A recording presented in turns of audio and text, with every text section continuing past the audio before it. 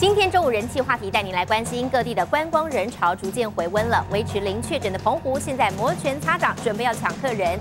在地旅游业者绞尽脑汁推出优惠方案，有民宿业者推出了对打对折的住宿优惠，连五星级饭店也开始促销七加酒的方案，希望游客赶快回笼。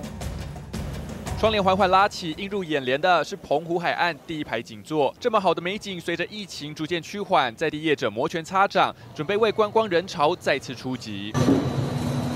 五星饭店拼业绩，推出七加九的方案，三天两夜附上早晚餐，还有 SPA 体验，不用八千元，要尽快弥平疫情期间的损失。除了五星饭店抢人潮，在地民宿业者也自力救济，住宿价钱直接对半砍，就连艺人纳豆也是趁着疫情回温，抢先来踩点。所以一开始出外景，然后因为出外景这边待个三天两天嘛，那就变成说每天晚上就出来外景之后，跟他两个就在那边小酌啊、聊天啊。像这样子一个四人房加一个双人房。加起来才五千块而已。疫情冲击，原本四月就应该进入旅游旺季的澎湖，却变得一客难求。如今人潮回笼，业者抢先推出优惠，要赢得游客的青睐。记者综合报道。